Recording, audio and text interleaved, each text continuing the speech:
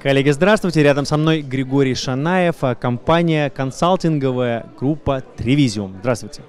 Добрый день. Расскажите немножко о компании. А, мы занимаемся консалтингом. А, это маркетинговый консалтинг, стратегический консалтинг и поддержка операционной деятельности. Оказываем такие необычные услуги, как э, услуги внешнего директора по маркетингу, внешней службы маркетинга и сбор а, проектных команд под те или иные задачи. То есть это максимально гибкий консалтинг в том виде, в котором он может быть. Вы сегодня были спикером нашей деловой сессии. Это непосредственно э, касалось именно вашей компании. Пожалуйста, хотим подробностей. Да, а, прошла сессия, а, посвященная динамическому ценообразованию в ритейле. Мы говорили о а, интересных трендах, которые сейчас есть на рынке, особенно те тренды, которые становятся или продолжают быть актуальными, несмотря на непростые времена, которые нас застигли врасплох. Мы говорили о тех кейсах, и ребята из таких компаний, как Красный Яр, да, рассказывали о внедрении динамического ценообразования и полученных результатах. Сессия была достаточно интересной, очень динамичной. Доклады были практичные и максимально насыщенные цифрами по эффективности, а, и мне кажется, вся аудитория э, сделала очень правильный и хороший выбор о том, что динамическому ценообразованию быть, безусловно. А, да, есть нюансы, и не нужно сейчас э, пытаться все постматериалы пере, переоборудовать в электронные носители. А, нужно идти поступательно.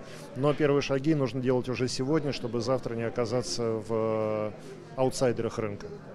Получается, тенденция уже есть, и кто ее придерживается, это разговор завтрашнего дня. Не, не после-после завтрашнего, а уже завтрашнего, поэтому вы должны успеть сделать все как нужно. А, все верно. Я бы даже сказал, что это уже тема сегодняшнего дня, потому что есть уже практически результаты, а, полученные коллегами. Они уже озвучены а, так всенародно на нашей конференции.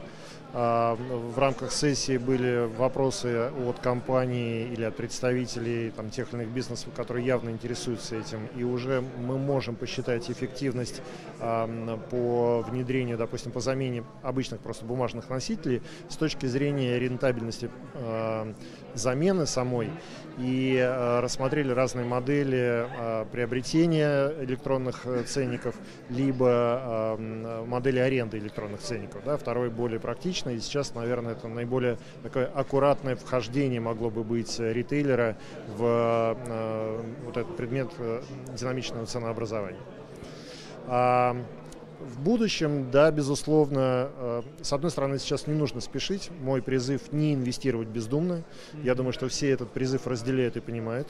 А, но э, идти поступательно нужно сегодня, потому что электронные ценники, они, конечно, э, очень гибкие с точки зрения управления покупательским спросом. А, более того, это дополнительный маркетинговый инструмент, и мы опять же, говорили на сессии, что, что из себя представляет э, информационный, основной информационный носитель э, в торговом зале. Это, безусловно, обычный ценник. А что из себя представляет основной маркетинговый инструмент? Сегодня было много разных вариантов озвучено. На самом деле это желтый ценник. И Поэтому даже вот как замена желтому ценнику и дополнение его за счет электронных возможностей и дисплея, на котором можно отразить тильные условия практики, обратить внимание а, цветом, выделить на принадлежность к той или иной категории, к тому или иному а, торговому или промо-предложению а, товара, стоящего на полке, это уже сегодня можно и нужно использовать, и при этом это не требует больших инвестиций, повторюсь. Здорово, звучит как магия, и сегодня мы уже верим в будущее, и будущее, уже пришло к нам. Спасибо вам за вашу работу. И, может быть, еще пару слов а, всем участникам рынка от вас. Да, спасибо большое и вам. А, несколько слов, наверное, пожелания. Да? Я обратил внимание, что рынок а, в начале э, этого года был такой притихший, да, и очень внимательно наблюдал за тем, что происходит. Но сейчас, э, мне кажется, что пора, пришла пора действовать, пришла пора меняться. А, есть огромное количество новых возможностей, которые мы, как консультанты по стратегическому маркетингу, видим уже сегодня, сейчас. А, кто-то это сравнивает с 90-ми годами, когда было непросто, но при этом рынок был абсолютно свободен. Здесь, конечно, он не абсолютно свободен, но он требует каких-то ярких решений, направленных, а, на эффективность, б, на новизну и с, С, ABC, конечно, на покупателя. Да? То есть э, рынок по-прежнему клиентоориентирован.